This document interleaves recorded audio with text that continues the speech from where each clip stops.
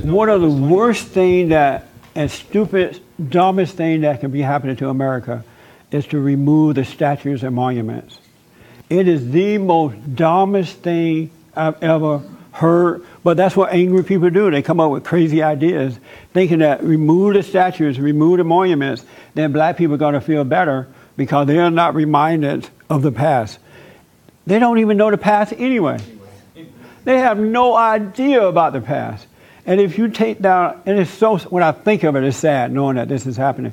And if you take down every statue, every monument, they're still going to be immoral. They're still going to be angry. They're still going to be having children out of wedlock. They're still going to be blaming. Nothing is going to change. It's just that taking these things down is going to, pr- to them, will prove that they were right when they're wrong. But we don't have anyone strong enough to stand up to the angry people. Except the president, and he can't do it alone because the governors and the mayors of these cities are allowing this to happen rather than locking these people up. If I was a mayor, I, I would lock them all up, but I would tie them up to the statue and let them stay there. if the statue is a problem, I want you to live with it and get over it. Isn't that a good idea? Yeah. But the mayors are weak.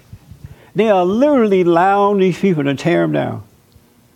And look at just trash people, not even decent people. You can see that they're children uh, uh, of, the, of uh, Satan. They're angry children of the devil. And It is so amazing to see it.